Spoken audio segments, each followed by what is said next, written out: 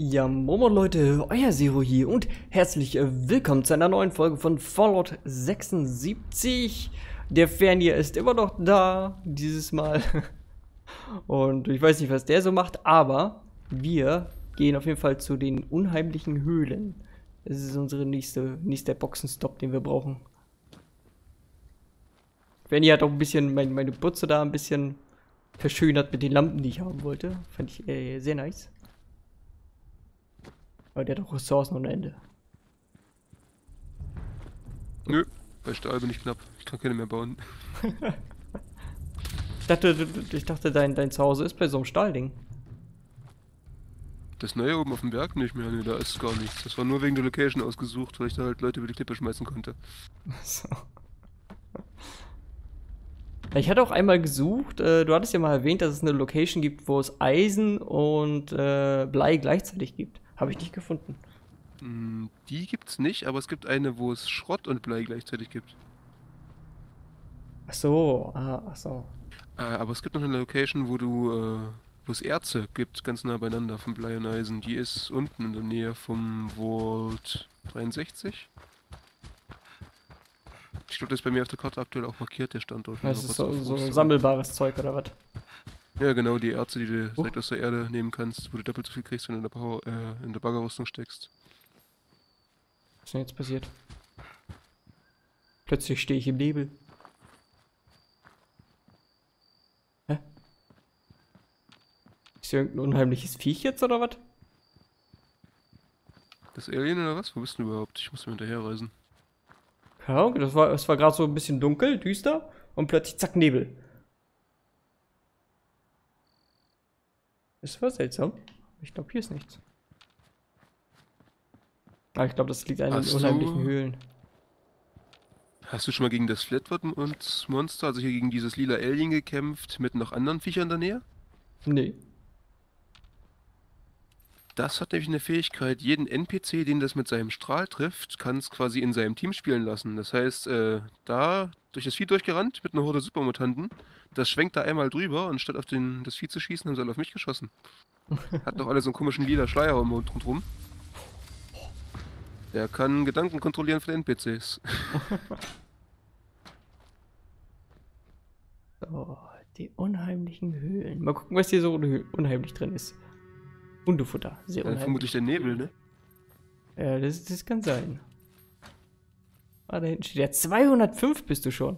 Warst nicht beim letzten Mal 195, als wir uns gesehen haben? Hm, müsste ich ins Video gucken.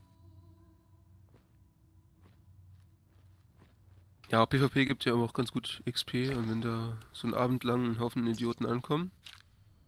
Ja, es gibt doch keinen kein, kein PvP-Modus mehr. Naja, aber es reicht ja schon, welche, wenn du welche am Ego kratzt und die immer wieder angeschissen kommen. Achso. Apropos, wie, wie sieht jetzt eigentlich die, die Weekly aus? Gibt's nicht mehr. Gibt's, ja, gibt's nicht mehr?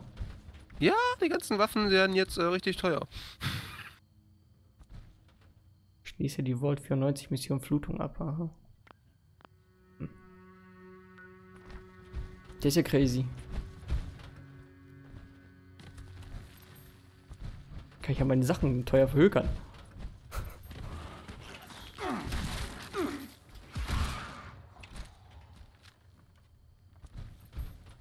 Da unten geht's weiter, alles klar.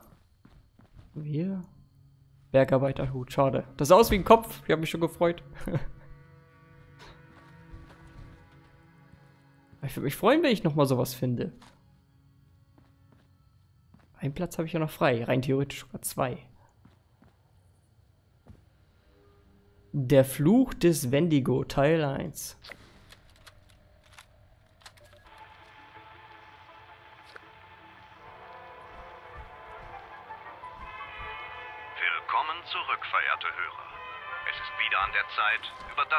das hinauszublicken, was Sie für wahr und richtig halten. Zeit, Ihren Geist der seltsamen, unerklärlichen und manchmal erschreckenden Welt zu öffnen, die in den Schatten der unseren existiert.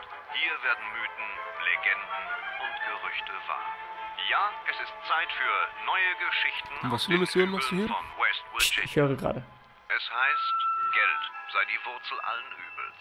Wenn also Gier keine Grenzen kennt und nicht kontrolliert wird, welche anderen Gelüste könnten dann noch geweckt werden? In der heutigen Folge Der Fluch des Wendigo geht es genau um diese Frage. Unsere Geschichte beginnt in der Corvega Autofabrik in Huntersville, West Virginia. Besitzer und Geschäftsführer Richard Moore ist bekannt dafür, alles an Profitabilität aus seinen Arbeitern herauszupressen. Hm, ausgezeichnet. Ausgezeichnet. Boss, haben Sie kurz Zeit? Sicher, Bill. Kommen Sie rein. Diese Produktivitätsberichte übersteigen alle Erwartungen. Freuen Sie sich schon mal auf einen dicken Weihnachtsbonus. Klingt toll, Boss. Aber mir ist unten in der Produktion aufgefallen, dass die Plutoniumabschirmung etwas zu stark beansprucht wird. Ich habe letzte Nacht angeordnet, dass das Band dort 20% schneller läuft. Das klappt schon. Nun, ich verstehe ja, dass Effizienz wichtig ist. Aber wenn die Plutoniumzellen nicht richtig gekühlt werden, haben... Ach, kommen Sie. Hohes Risiko, hoher Gewinn. Verstehen Sie? Für die Arbeiter ist das aber ein sehr hohes Risiko. Die werden sich bei mir bedanken, wenn sie ihren Bonus bekommen. Ohne Geld kommt man nicht. Warnung. Versagen der Abschirmung. Warnung. Versagen der Abschirmung. Die Kernabschirmung ist gerissen. Wir müssen weg hier. Kommen Sie, verschwinden wir. Äh, was ist mit den Männern am Band? Für die armen Teufel können wir nichts mehr tun. Hoffen wir, dass wenigstens wir es schaffen.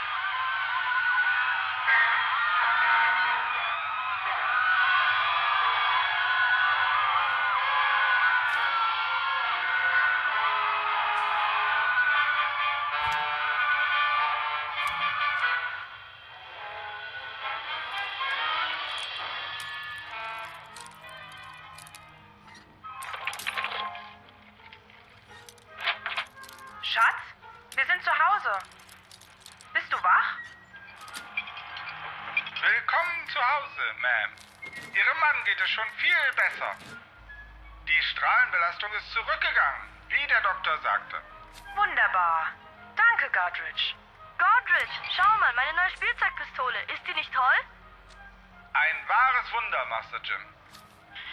Übrigens, Ma'am, Mr. Richard hat wieder einen ordentlichen Appetit entwickelt. Seit dem Mittagessen hat er schon zweimal gegessen und er scheint immer noch Hunger zu haben. Ein gutes Zeichen. Ja, das sind wirklich gute Neuigkeiten. Bist du das, Schatz? Sag mal, hast du Steaks mitgebracht? Wie ich erwähnte, hat er jedes Steak, jedes Fleischbällchen und jede Wurst verputzt, Ma'am. Meine Güte. Tut mir leid, Schatz. Ich gehe morgen zum Metzger. Ah, Er ist sehr beharrlich, oder? Ja, Ma'am. Sehr. Leider stimmt aber nicht alles mit dem Familienoberhaupt der Moors. Schalten Sie nächste Woche wieder ein und erleben Sie das spannende Ende von Der Fluch des Wendigo.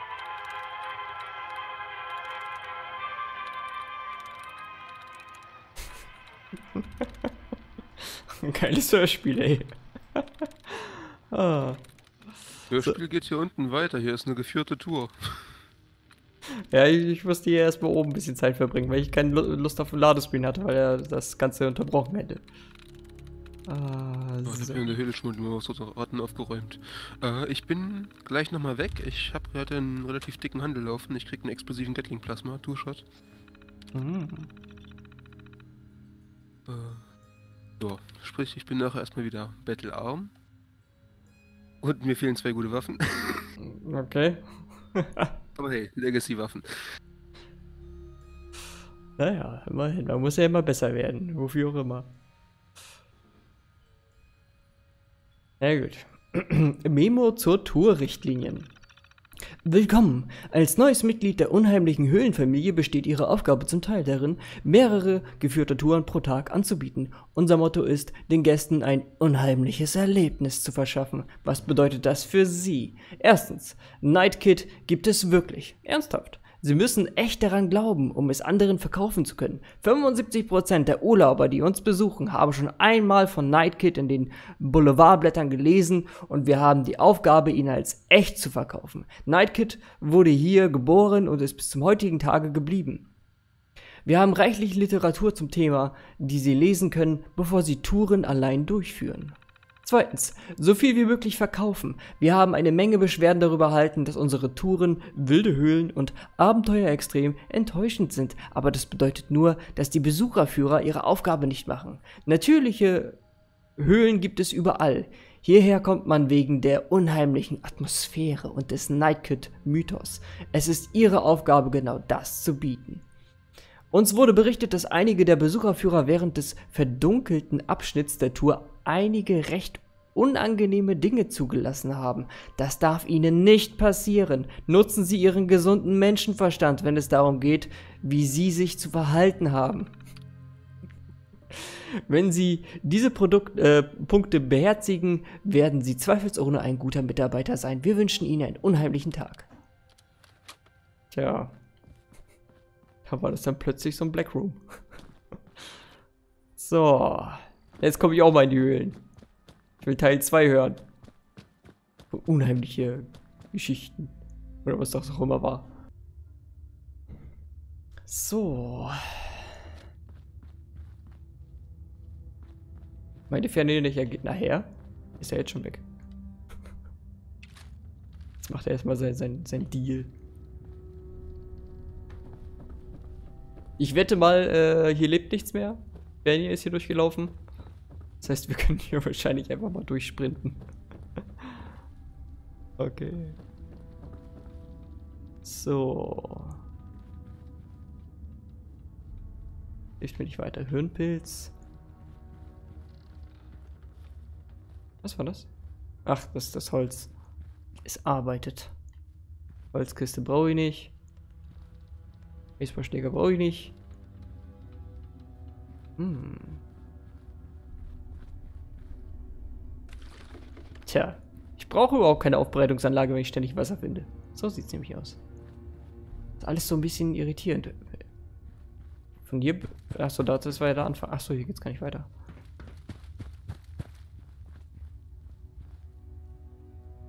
Die unheimlichen Höhlen. Na gut, ich denke mal, das wird äh, ein bisschen größer. Seien Sie gegrüßt, Abenteurer. Ich bin Dick Shale. Vielleicht kennen Sie mich noch von automatisch geführten Touren an Orten wie der Fancy Lads Fabrik und Prickett's Fort.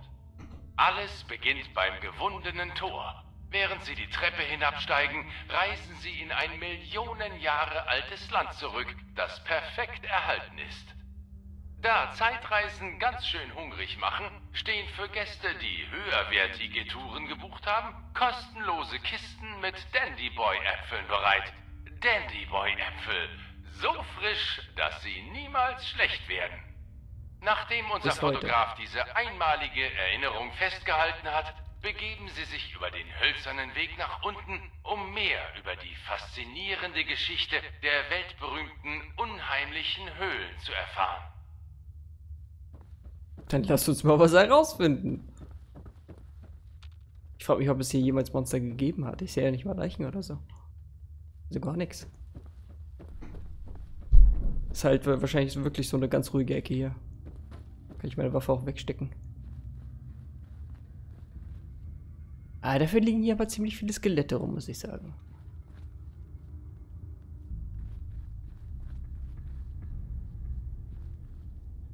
Wieso leuchtet es hell?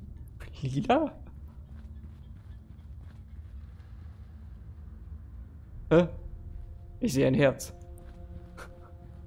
Ist er überhaupt noch hier? Nee, okay. Das heißt, er handelt gerade fröhlich vor sich hin. Deswegen Herz da. Er dankt wahrscheinlich gerade. Okay, wo gehen wir lang? Rechts oder links? Immer nach links. Also hier müssen irgendwo noch die anderen unheimlichen Geschichten liegen. Die will ich auf jeden Fall finden. Am besten in der richtigen Reihenfolge. Was schwer werden könnte. Der richtige Irrgarten. Stirb! Drecksvieh. Was? Wie?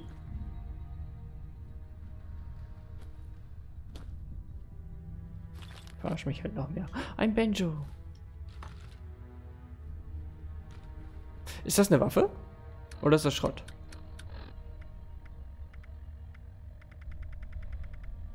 Das ist Schrott. Jetzt sind wir auf der anderen Seite. Ach Gott, das, das wird ja ein Desaster.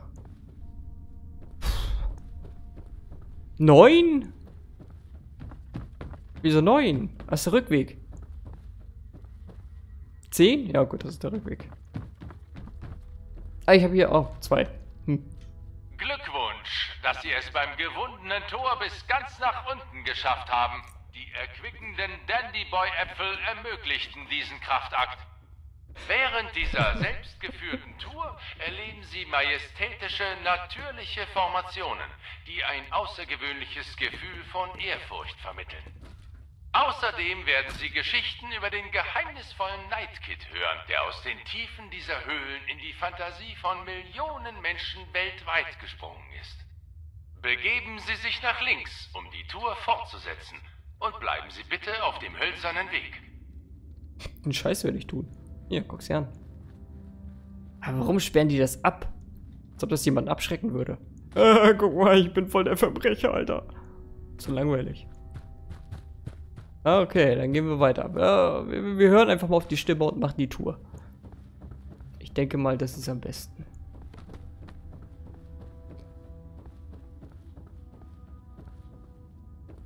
So, ich muss aber genau aufpassen. Damit ich hier bloß nichts verpasse. Die drei. Sie befinden sich nun im Saal der Majestät, der aus drei wunderschönen natürlichen Säulen namens König, Ritter und Knappe besteht. Wissenswertes am Rande. Säulen bilden sich über viele Jahre hinweg durch die Verbindung von Stalagmiten und Stalaktiten. Die Königssäule ist mehr als 200.000 Jahre Bist du alt. Gott? Bei der ersten Untersuchung war der Saal der Majestät mit zwei Tonnen Abfällen und toten Nutztieren angefüllt, die Bauern aus der Gegend durch ein mittlerweile zugeschüttetes Loch geworfen hatten. Begeben Sie sich nach links, um die Tour fortzusetzen. Und werfen Sie bitte keinen Abfall weg. Was sagst du? Du gerade in einem Hörspiel zuhörst. Beziehungsweise in der Führung. Ich bin gerade bei der Führung, ja. Das heißt, ich werde wahrscheinlich diese Folge sehr ruhig sein. Oh, alles gut. Ich glaube, ich habe mir die auch noch nie komplett angehört. Bei welchem Punkt bist du gerade? Dann komme ich hinterher und höre vielleicht mit. Vier. So, kommst du jetzt oder muss ich alleine weitermachen? Äh, ich muss erstmal Gewicht sortieren. Ich äh, komme erstmal mit meinem Gewichtsmanagement mit Management nicht klar. Dann gehe ich erstmal weiter.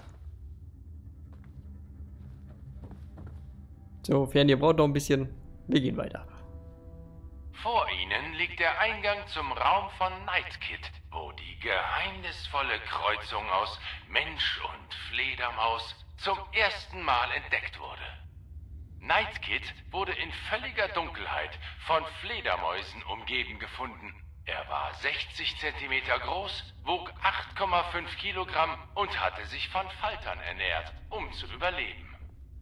Diesen Teil der Geschichte von Appalachia und mehr erleben Sie im Rahmen der Tour Wilde Höhlen, die zu einem günstigen Preis separat gebucht werden kann. Begeben Sie sich nach rechts, um die Tour fortzusetzen. Lassen Sie bitte erst die Teilnehmer der Premium-Tour vorbei. Wie nett. Das heißt, es gibt wahrscheinlich noch mehr Höhlen, so, so eine Art. Keine Ahnung. Sehe ich doch. Oh, ouch. Ja, es war also das Zuhause von Nightkid. Bist du Nightkid? Nein. Nur eine Leiche.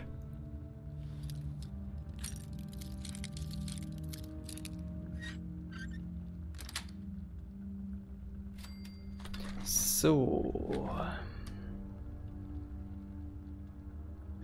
Was haben wir denn noch hier? Oh, ein bisschen Wasser. Muss ich kochen? Ich glaube nicht. Oh! Dass ich die nicht ausgelöst habe. Habe ich den Perk dann, dass ich das nicht tue? Ich weiß es nicht. Na schön, dass du es hier. Viel Spaß. Dann gehen wir mal weiter. Ich denke mal, wenn wir die Tour, Tour folgen, dann werden wir auch alle Geheimnisse sehen, die es hier gibt. Da sind wir schon lang gegangen. Das ist quasi die Abkürzung zurück. Oh, noch ein bisschen Wunderkleber, nehme ich gerne. Obwohl ich eigentlich Schrauben suche. Warte. Fünf. Bevor Sie den Saal der Majestät verlassen, möchten wir, dass Sie die jahrzehntealte Tradition erleben, dem Night Kid zu lauschen. Wenn man zur richtigen Tageszeit still genug ist, kann man angeblich hören, wie Night Kid durch die dunklen Winkel der Höhlendecke huscht. Und jetzt sollten alle einen kurzen Moment lang still sein. Wenn Sie sich trauen. Wenn Sie fertig sind, gehen Sie die Treppe hinunter, um die Tour fortzusetzen. Achten Sie bitte darauf, wohin Sie treten.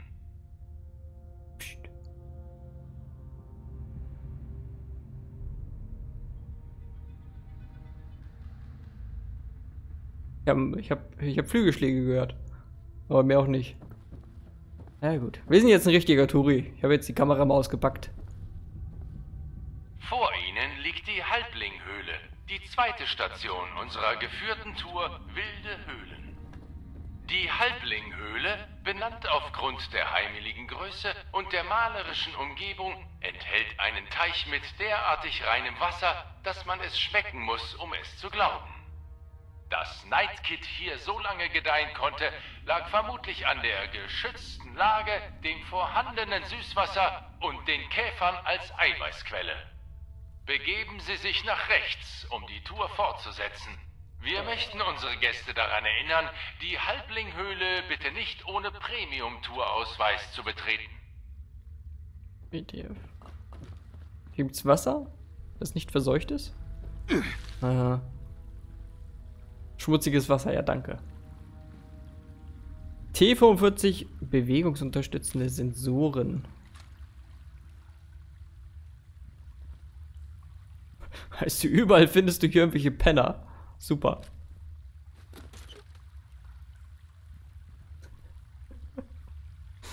naja. Ist, ist ja gut, ist ja gut. Wir haben es alle verstanden. Du tust weh. So, sieben. Oh, das sieht cool aus. Deep Cold Water. Das ist tatsächlich tief. Und heilige Scheiße. Was für eine Strahlung. Der nächste eindrucksvolle Halt bei unserer Tour ist Poseidons Passage, benannt nach dem antiken griechischen Gott des Meeres, der Erdbeben, der Stürme und der Pferde. Der als Dreizack bekannte eindrucksvolle Stalaktit und Stalagmit zu ihrer Linken wird sich eines Tages zu einer riesigen natürlichen Säule verbinden. Das hier natürlich in der Höhle vorkommende Wasser ist nach der jahrhundertelangen Filterung durch den Fels so rein, dass Sie ein Neugeborenes darin baden könnten. Überqueren Sie die Brücke, um die Tour fortzusetzen. Aus rechtlichen Gründen raten wir den Gästen, auf dem Weg zu bleiben und sich vom Wasser fernzuhalten. Ich springe hier einfach mal rüber. Einfach mal hier erkunden. Einmal kurz die Seuche über uns ergehen lassen.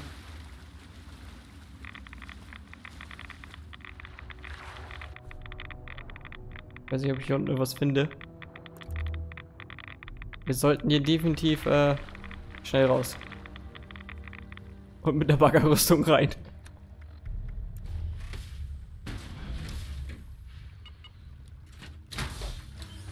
Ich will nämlich sehen, ob da unten irgendwas ist.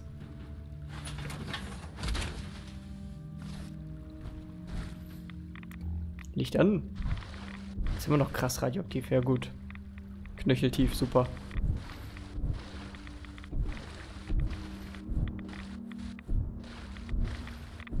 Okay, ich muss mal ganz kurz Hilfsmittel äh, Redex und Redaway.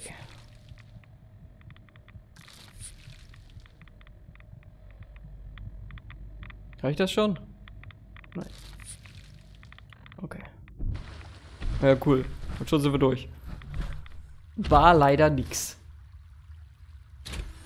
Aber ein Versuch wert. Hätte ja was sein können. Oh, scheiße. Ja, das ist jetzt ein bisschen blöd. Egal, der Redex wird irgendwann aufhören. Jetzt können wir natürlich nicht mehr hochspringen wegen dem Redex, ne? Na gut, ich sehe da hinten eine Leiche, aber sonst nichts. Da wird also nichts Großartiges sein. Wir laufen ja sonst sowieso nur durch die Höhle. Ohne irgendwelche Gegner. Acht. War das sieben? Alter, wir kommen hier voll schnell voran. Der dritte Halt auf unserer Premium-Tour Wilde Höhlen ist die sogenannte Sackgasse, wo es zur letzten Konfrontation zwischen Nightkid und den Marshalls kam. Nightkid, mittlerweile ein 2,50 Meter großes Raubtier, wurde nach einer langen Jagd durch die Höhlen von seinen Häschern in die Enge getrieben und gefasst. Er blieb ein Jahrzehnt in Gefangenschaft, bevor er unter mysteriösen Umständen befreit wurde. Danach kehrte er in die Höhlen zurück, wo er bis heute lebt. Gehen Sie nach rechts hinauf, um die Tour fortzusetzen. Und achten Sie auf die Fledermäuse. Wo er bis heute lebt, weil hier ist alles ausgebaut. Am Arsch. Ich wette, wir werden am Ende irgendwie was richtig Fieses sehen. Aber es wird bestimmt nicht Nightkid sein. Grockner der Barbar. Heft 5. Oh, hier können wir wieder kochen. Hm, mega Faultier-Rezept. Irgendein Ultrazidkram. Sehr schön. Den habe ich doch gerne. Redaway. Patron. Kleber. Ich glaube, mittlerweile haben wir sogar mehr als genug Kleber. Okay, mal gucken, ob wir Nightkit heute noch finden. Fernie ist da immer noch hinten. Hängt ein bisschen zurück. So. Also sind wir eigentlich schon wieder auf dem Rückweg, ne? Ich dachte, wir treffen Nightkit.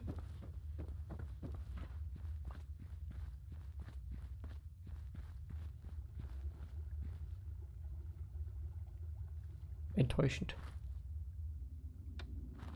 Erstmal das Radio ausmachen. So, jetzt muss ich mal ganz kurz gucken, wieso.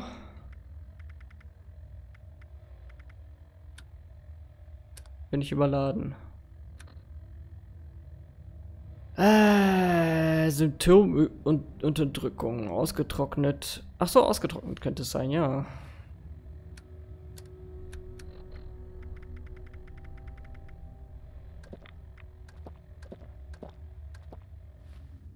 Ich bin immer noch überladen. Na gut, ich hätte vielleicht gucken sollen, was ausgetrocknet bewirkt. So, Redex. Das bin ich überladen. Keine Ahnung. Wird sich bestimmt regeln. Oder habe ich was eingesammelt währenddessen? Keine Ahnung. Nun erreichen wir das berüchtigte Teufelsopfer. Eine enge und gefährliche Verbindung durch die Mitte der Höhle zum Saal der Majestät. Es heißt, dass nur diejenigen diesen engen Abschnitt unbeschadet überstehen, die ihren Tribut an den Teufel entrichten. Die Reise durch das Teufelsopfer ist nur durch Buchung der Abenteuer Extremtour möglich. Weitere Informationen im Geschenkartikelladen. Begeben Sie sich nach links, um die letzte Station der Tour zu erreichen.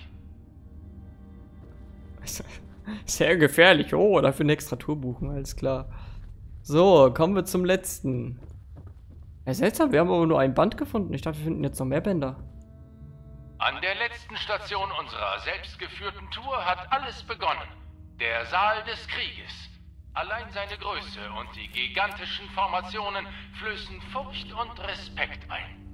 Im Zentrum steht Odins Zahn, die größte natürliche Höhlenformation in Appalachia. Ein wahrhaft atemberaubender Anblick.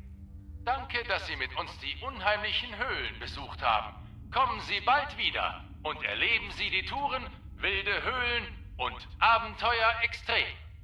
Über die Treppe zu Ihrer Linken geht es zum Ausgang. Bitte statten Sie dabei auch unserem Geschenkartikelladen einen Besuch ab. Dick Shale verabschiedet sich und wünscht allen einen unheimlichen Tag. Ja. Enttäuschend. Wirklich enttäuschend. Aber gut, Freunde, ich würde sagen, äh, das war unser Abenteuer extrem. Wir sehen uns in der nächsten Folge wieder. Haut rein. Ciao.